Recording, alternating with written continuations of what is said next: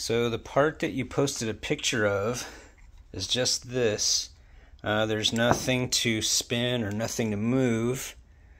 So I'm not sure if you needed more than what you posted because these are all that I have and they're pretty much brand new. So nothing wrong with them.